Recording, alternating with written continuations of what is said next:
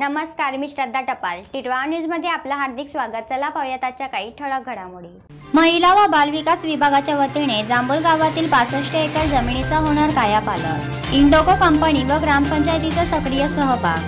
समाजात वाढत असलेल्या भिक्षेकरी प्रथेस आळा घालून त्यांना स्वतःच्या पायावर उभे करून स्वावलंबी बनवणे यासाठी शासनाने अशा लोकांच्या पुनर्वसनासाठी कल्याण तालुक्यातील जांभूळ या गावी सुमारे पासष्ट एकर जमीन दिलेली होती. परंतु निधी अभावी ती पडीक होती. पण आता ठाणे जिल्हाधिकारी राजेश नार्वेकर यांनी निधी उपलब्ध करून दिल्याने या जमिनीचा कायापालट होणार असून त्याची सुरुवात काल वृक्षारोपण करून करण्यात आली. यावेळी इडोको रेमिडीज लिमिटेड आणि ग्रुप ग्रामपंचायत जांभूळ यांनी सहभाग नोंदवला.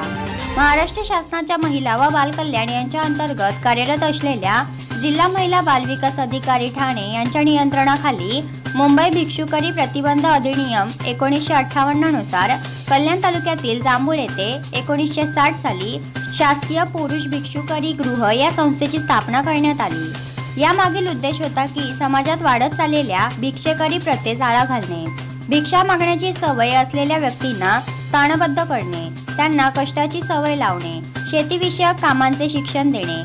स्वावलंबनाचे धडे देऊन त्यांना स्वतःच्या पायावर उभे करणे. इत्यादीचा समावेश होता. आज मितीस पासष्ट भिक्षेकरी आहेत. ठाणे जिल्हाधिकारी राजेश नार्वेकर यांनी जिल्हा नियोजन समितीच्या माध्यमातून एक कोटी पन्नास लाख रुपये भरघोस निधी उपलब्ध करून देत जांभूळ शेवगा लिंबू बांबू इत्यादी झाडे लावण्यास सुचविले. त्यानुसार इंडोको रेमिडिल लिमिटेड कंपनीचे जनरल मॅनेजर संजय घणगाव निलेश भोळे शारोन फर्नांडिस व त्यांच्या टीमने बांबूंची लागवड केली.